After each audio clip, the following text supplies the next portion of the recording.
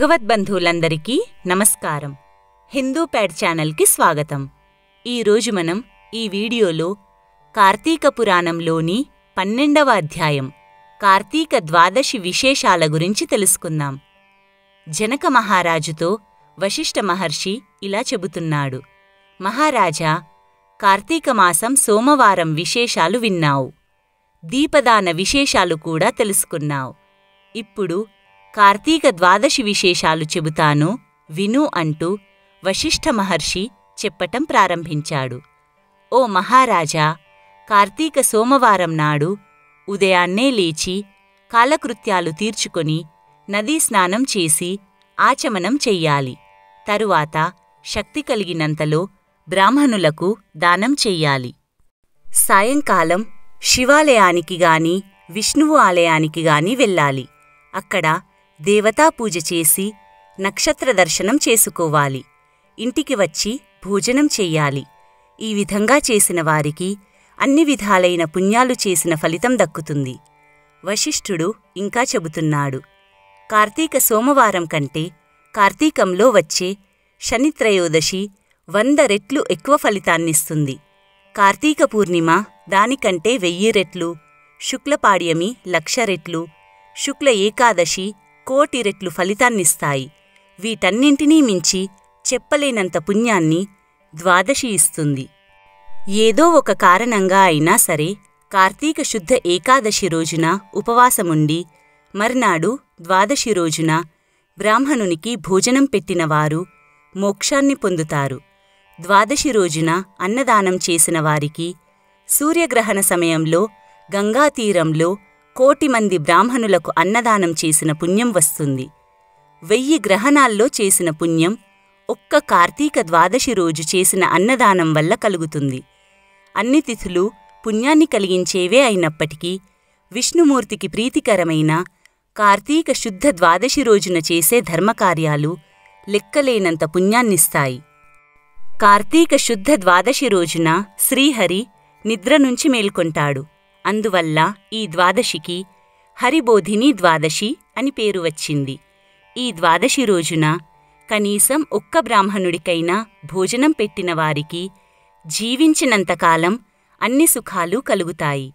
ద్వాదశి రోజున పెరుగు అన్నదానం చెయ్యటం విశేషమైన పుణ్య ఫలితాలను ఇస్తాయి.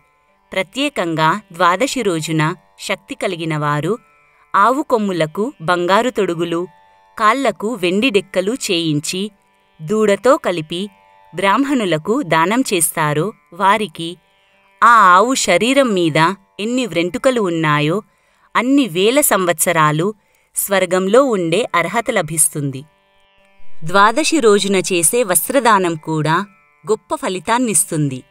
కార్తీక శుద్ధ పాడ్యమి పౌర్ణమి రోజుల్లో కంచుపాత్రలో ఆవు నెయ్యి పోసి దీపారాధన చేసినవారు పూర్వజన్మలో చేసిన అన్ని పాపాల నుంచి విముక్తి పొందుతారు.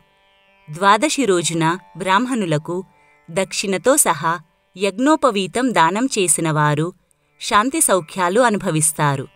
ద్వాదశి రోజున బంగారు తులసి చెట్టుగాని సాలగ్రామాన్ని కాని బ్రాహ్మణులకు దానం చేస్తే నాలుగు సముద్రాల మధ్య ఉన్న భూమినంతటినీ దానం చేసినంత ఫలితం దక్కుతుంది.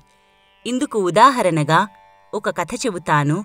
విను అంటూ వశిష్ఠముని కథ చెప్పడం ప్రారంభించాడు. పూర్వం గోదావరి తీరంలోని ఒక గ్రామంలో పరమ పిసినారి అయిన వైశ్యుడు ఉండేవాడు. అతడు చాలా దురాశ కలిగినవాడు. ఏదో విధంగా ధనం కూడబెట్టడం తప్ప అతడికి మరొక ఆలోచన ఉండేది కాదు. కనీసంలో కనీసంగా కూడా దానం చేసేవాడు కాదు. అలాగని సంపాదించిన ధనాన్ని తాను కూడా అనుభవించేవాడు కాదు. అనుక్షణం డబ్బు కూడబెట్టడం తప్ప అతడికి మరో ఆలోచనే వచ్చేది కాదు. కోట్ల కొద్దీ ధనం సంపాదించినా తృప్తి కలిగేది కాదు. పక్కవారి ధనాన్ని ఎలా అపహరించాలని ఆలోచన చేస్తుండేవాడు. ఆ వైశ్యుడి దగ్గర పక్క గ్రామంలో ఉన్న బ్రాహ్మణుడు అప్పు తీసుకున్నాడు. అవకాశం చిక్కిందని భావించిన వైశ్యుడు చాలా ఎక్కువ వడ్డీ అడిగాడు. అప్పటికి గత్యంతరం లేకపోవడంతో బ్రాహ్మణుడు కూడా ఒప్పుకున్నాడు.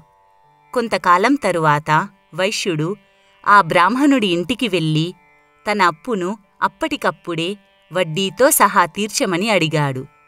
ఉన్నట్లుండి అప్పు తీర్చడం సాధ్యం కాదని ఒక నెల రోజులు గడువు ఇవ్వమని బ్రాహ్మణుడు అనేక విధాలుగా బతిమాలాడు. యో జీవతి రుణీ నిత్యం నియమం కల్పమశ్నుతే పశ్చాత్తస్య సుతో భూత్వా తత్సర్వం ప్రతిదాస్యతి అంటే ఎవరైతే అప్పు తీసుకొని దాన్ని తీర్చకుండా మరణిస్తాడో అతడు తర్వాత జన్మలో అప్పు తీసుకున్నవాడి ఇంట జంతువుగా పుట్టి అయినా సరే ఆ రుణాన్ని తీర్చుకుంటాడని శాస్త్రాలు చెబుతున్నాయి కాబట్టి నేను నీ రుణం ఎప్పటికీ ఉంచుకోను ఇప్పటికిప్పుడు ధనం సర్దుబాటు చెయ్యలేను ఒక్క నెల రోజులు గడువు ఇప్పించు అంటూ బ్రాహ్మణుడు అనేక విధాలుగా వైశ్యుడిని బతిమాలుకున్నాడు. అయినా సరే వైశ్యుడి మనస్సు కరగలేదు. ఆవేశంలో విచక్షణ కోల్పోయి తన దగ్గర ఉన్న కత్తితో బ్రాహ్మణుడి తల నరికాడు. క్షణకాలంలో ఆ బ్రాహ్మణుడు చనిపోయాడు. ఆవేశంలో బ్రాహ్మణుడి తల నరికిన వైశ్యుడికి ఆ తరువాత భయం పట్టుకుంది. విషయం తెలిస్తే ఆ దేశపు రాజు తనకు శిక్ష వేస్తాడని భయపడి అక్కడి నుంచి పారిపోయాడు. బ్రాహ్మణుణ్ణి హత్య చేసిన పాపానికి అతడికి తీవ్రమైన పాపం చుట్టుకుంది. అనేక రోగాల బారిన పడి మరణించాడు. పాపాల ఫలితంగా అతడు నరకానికి వెళ్ళి అనేక శిక్షలు అనుభవించాడు. ఆ వైశ్యుడికి ఒక కుమారుడున్నాడు. అతడి పేరు ధర్మవీరుడు. అతడు పేరుకు తగినవాడు. తండ్రి చనిపోయిన తరువాత మొత్తం ఆస్తికి అతడే వారసుడయ్యాడు. అయితే తండ్రి పిసినారితనం అతనికి రాలేదు. అతడు సద్గుణవంతుడు. తండ్రి ఇచ్చిన ఆస్తిని మంచి పనులకు ఉపయోగించేవాడు. చెరువులు బావులు కాలువలు తవ్వించడం మొక్కలు నాటించడం యజ్ఞయాగాది క్రతువులు చెయ్యడం వంతెనలు కట్టించడం అన్నదానం చేయడం వంటి దానధర్మాది కార్యక్రమాలు చేసేవాడు. భూలోక సంచారానికి వచ్చిన నారద మహర్షి ఒక రోజున ధర్మవీరుడి ఇంటికి వచ్చాడు. నారదుడంతటి మహానుభావుడు తన ఇంటికి రావడంతో ధర్మవీరుడు ఎంతో ఆశ్చర్యానికి గురయ్యాడు. నారదుడికి అన్ని విధాలైన స్వాగత సత్కారాలు చేశాడు. అన్ని ఉపచారాలతో పూజ చేశాడు. సాక్షాత్తు విష్ణుమూర్తే తన ఇంటికి వచ్చినంత ఆనందించి ఎవరూ ఊహించనన్ని మర్యాదలు చేశాడు. మహర్షి మీ రాకతో మా ఇల్లు పావనమైంది. మీరు అడుగుపెట్టగానే ఈ భూమి పుణ్యభూమిగా మారింది. నేను మీకు దాసుడను. నేను ఏం చెయ్యాలో చెప్పండి అంటూ ఎంతో వినయంగా నారదుడికి నమస్కరించి అడిగాడు. అప్పుడు నారద మహర్షి ధర్మవీరుడితో ఇలా చెప్పాడు. నాయనా నువ్వు నాకోసం చెయ్యాల్సిందేమీ లేదు. నీకు ఒక హితాన్ని బోధించాలని వచ్చాను. నువ్వు ఎన్నో దానాలు ధర్మకార్యాలు చేస్తున్నావు. ఇది సంతోషించాల్సిన అంశమే. అయితే నీ తండ్రి తాను చేసిన పాపకార్యాల ఫలితంగా నరకంలో అనేక బాధలు అనుభవిస్తున్నాడు. నువ్వు అతడికి నరకబాధల నుండి విముక్తి కలగాలనే సంకల్పంతో సాలగ్రామ దానం చేసినట్లయితే నీ తండ్రికి నరకబాధల నుంచి విముక్తి కలుగుతుంది. అందులోనూ ప్రస్తుతం కార్తీక మాసం జరుగుతుంది. ఈ నెలలో శుద్ధ ద్వాదశి మహావిష్ణువుకు ప్రీతిపాత్రమైన రోజు. ఆ రోజున నువ్వు సాలగ్రామ దానం చెయ్యు. ఉత్తమ ఫలితాలు కలుగుతాయని నారదుడు ధర్మవీరుడితో చెప్పాడు. నారదుడి మాటలు విన్న ధర్మవీరుడు అపహాస్యంగా నవ్వాడు. మహాముని నేను ఎన్నో గోదానాలు అన్నదానాలు భూదానాలు హిరణ్యదానాలు సహా వేల సంఖ్యలో దానాలు చేశాను. వీటన్నింటి వల్ల కలగని పుణ్యం సాలగ్రామం అనే రాయిని దానం చేస్తే కలుగుతుందా? ఈ రాయిని దానం తీసుకున్నవాడికి ఏ ప్రయోజనం కలుగుతుంది? ఆకలి తీరుతుందా? దాహం తీరుతుందా? ధనం సమకూరుతుందా? ఎందుకీ అనవసరమైన దానం? నేను ఈ దానం చెయ్యను అంటూ తెగేసి చెప్పాడు. ధర్మవీరుడి అవివేకానికి నారదుడు చాలా బాధపడి ధర్మవీరుడా సాలగ్రామాన్ని నువ్వు కేవలం రాయిగా మాత్రమే చూస్తున్నావు. సాలగ్రామం సాక్షాత్తు విష్ణు స్వరూపం. అన్ని దానాల కన్నా సాలగ్రామ దానం చాలా గొప్పది. అంతులేని పుణ్యాన్ని అందిస్తుంది అంటూ ఎన్నో వివరాలు చెప్పాడు. అయినప్పటికీ ధర్మవీరుడు తన ఆలోచన మార్చుకోకపోవడంతో నారదుడు అక్కడ్నుంచి వెళ్ళిపోయాడు. కొంతకాలానికి ధర్మవీరుడు మరణించాడు. ధనం దాన సామర్థ్యం కలిగినా సాలగ్రామ దానం చెయ్యకపోవడం దానం గురించి వివరించిన నారద మహర్షిని అపహాస్యం చెయ్యటం మొదలైన పాపాల కారణంగా ధర్మవీరుడు నరకానికి వెళ్ళాడు. అక్కడ అనేక శిక్షలు అనుభవించాడు. ఆ తరువాత ఏడు జన్మలు పులిగా మూడు జన్మలు కోతిగా ఐదు జన్మలు ఎద్దుగా పది జన్మలు మానవ స్త్రీగా పది జన్మలు పందిగా పుట్టాడు.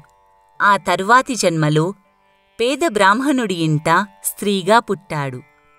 తన కుమార్తెకు యుక్త వయస్సు వచ్చిన తరువాత పేద బ్రాహ్మణుడు తనకు కలిగినంతలోనే చక్కటి సంబంధం చూసి వివాహం చేశాడు.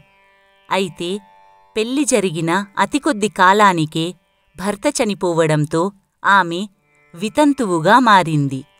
తన కుమార్తెకు కలిగిన దుఃఖానికి ఆ తండ్రి ఎంతో బాధపడ్డాడు. ధనానికి పేద అయినా తపశ్శక్తి కలిగినవాడు కావడంతో దివ్యదృష్టితో జరిగిన విషయాన్ని పరిశీలించాడు. పూర్వజన్మలో సాలగ్రామ దూషణ వల్ల కుమార్తెకు ఈ కష్టం వచ్చిందని తెలుసుకున్నాడు. వెంటనే తన కుమార్తెతో పూర్వజన్మ పాపాలు నశించాలని సంకల్పం చెప్పించి ఆమె చేత సాలగ్రామదానం చేయించాడు. ఆ రోజు కార్తీక సోమవారం కావడం వల్ల ఆ దానం మరింత ఎక్కువ పుణ్య ఫలితాన్ని అందించింది. దీంతో మరణించిన భర్త తిరిగి జీవించాడు. అప్పట్నుంచి ఆ దంపతులు ధర్మ మార్గాన్ని ఆచరిస్తూ జీవితకాలం సుఖంగా జీవించారు. తరువాతి జన్మలో ఆ స్త్రీ మరొక బ్రాహ్మణ కుటుంబంలో కుమారుడుగా జన్మించింది. పూర్వజన్మ జ్ఞానం వల్ల అతడు నిత్యం సాలగ్రామ దానం చేసి చివరకు ముక్తి పొందాడు. కాబట్టి జనక మహారాజా కార్తీక శుద్ధ ద్వాదశి రోజున చేసే సాలగ్రామ దానం అనంతమైన ఫలితాన్ని ఇస్తుంది. ఆ ఫలితాన్ని వర్ణించటానికి ఎవరి దగ్గర తగినన్ని మాటలు లేవు. నువ్వు కూడా సాలగ్రామ దానం చేసి పుణ్యఫలితాన్ని అందుకో అంటూ వశిష్ఠ మహాముని జనక మహారాజుకు చెప్పాడు.